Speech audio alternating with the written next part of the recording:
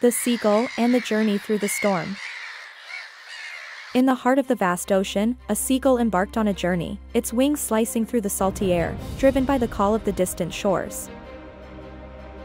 As the sun dipped below the horizon, dark clouds began to gather, foretelling a storm that would test the very limits of the seagull's resolve.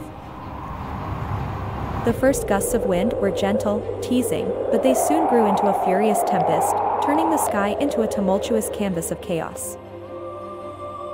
The seagull fought against the howling winds, its feathers ruffled and wet, but its spirit unbroken. It was more than a journey, it was a quest for survival. Lightning streaked across the sky, illuminating the seagull's path. Each flash was a beacon of hope, a guide through the impenetrable darkness that surrounded it. The waves below mirrored the turmoil in the sky, rising and falling like the chest of a sleeping giant. Yet, the seagull soared above, undaunted. In the heart of the storm, a moment of clarity emerged. The seagull realized that the tempest outside echoed the turmoil within, a battle between fear and determination.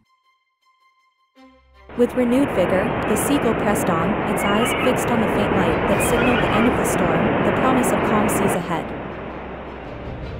The storm's fury began to wane, its once formidable strength diminishing with each passing moment. The seagull, too, felt a change within, a sense of peace amidst the chaos.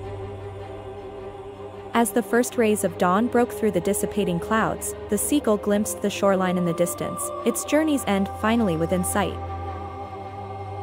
Landing gracefully upon the sandy beach, the seagull looked back at the tempestuous sea, a testament to its courage, resilience, and the indomitable will to survive.